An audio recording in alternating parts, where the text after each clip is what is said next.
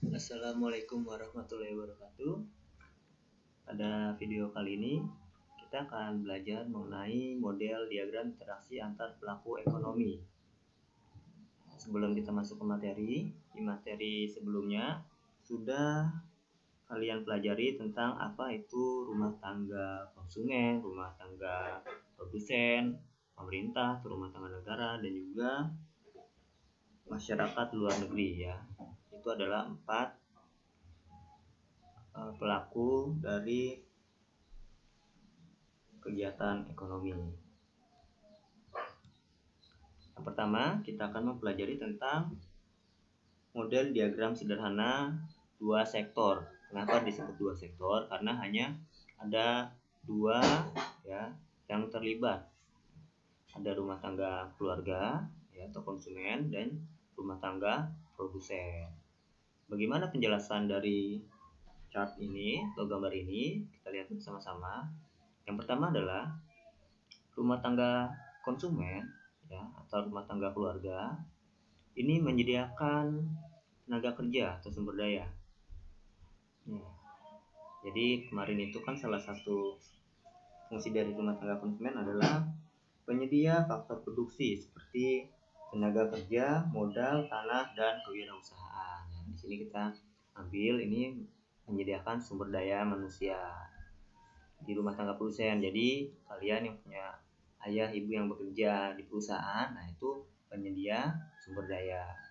Mereka bekerja di rumah tangga produsen. Nah dari situ nanti rumah tangga produsen ini membayarkan untuk sumber daya yang disediakan atau istilahnya menggaji orang yang bekerja di rumah tangga produsen ini disebut faktor produksi ya penyedia faktor produksi. Lalu rumah tangga produsen ini menyediakan barang dan jasa. Contohnya misalkan ada ternak saudara kalian bekerja di pabrik motor Honda. Nah dia dapat gaji tapi nanti dia beli juga motor Honda. Nah itu dari mana dapatnya? Dari rumah tangga produsen. Ketika dibeli otomatis akan ada pembayaran dari rumah tangga konsumen atau keluarga kepada rumah tangga produsen. Ini adalah alur barang dan jasa yang dilakukan oleh rumah tangga produsen kepada rumah tangga konsumen. Ini dua sektor, hanya hanya terlibat dua. Selanjutnya tiga sektor. Penjelasannya serupa, hanya saja di sini ditambah ada lagi satu sektor dari pemerintah, ya. Kalau tadi sudah dijelaskan nih yang atas ini, ya alur barang dan jasa. Ini juga sudah ya sumber daya. Lalu apa kaitannya pemerintah dengan kegiatan ekonomi? Kita lihat bersama-sama. Rumah tangga keluarga ini membayarkan pajak ke pemerintah. Begitupun rumah tangga produsen membayarkan pajak. Ya. Nah, yang paling mudah kita pahami pajak penghasilan. Jadi orang tua kalian itu bekerja, mereka bayar pajak penghasilan. Begitupun rumah tangga produsen, dia bayarkan pajak nanti oleh pemerintah dari pajak yang dibayarkan itu akan diberikan atau dikembalikan kepada rumah tangga produsen dan rumah tangga keluarga dalam bentuk fasilitas. Fasilitas apa? Fasilitas umum tentunya seperti jalan, pembangunan jembatan dan sebagainya. Lalu rumah tangga keluarga ini juga menyediakan sumber daya bagi pemerintah. Ya, karena mungkin kalian punya sanak saudara juga yang bekerja sebagai aparatur sipil negara ketika bekerja di pemerintahan. Nah, pemerintah pun bayarkan itu nanti ya. Bayarkan atas penyediaan sumber daya tersebut itu dibayar oleh pemerintah. Begitupun rumah tangga produsen dia juga menyediakan sumber daya kepada pemerintah. Dalam bentuk apa? Nah, ini bisa dalam bentuk barang dan jasa penyediaan. Karena pemerintah dalam melakukan pembangunan fasilitas itu pasti akan disupport oleh rumah tangga produsen. Seperti apa? Misalkan bangun jembatan bahan bakunya. Nah itu nanti support oleh rumah tangga produsen. Nanti begitu pula ada pembayaran atas sumber daya yang diberikan. Ini tiga sektor. Ada tiga orang yang terlibat di dalamnya. Lalu model diagram sederhana empat sektor. Tadi sudah tiga sektor ya. Sudah dijelaskan juga alurnya seperti apa.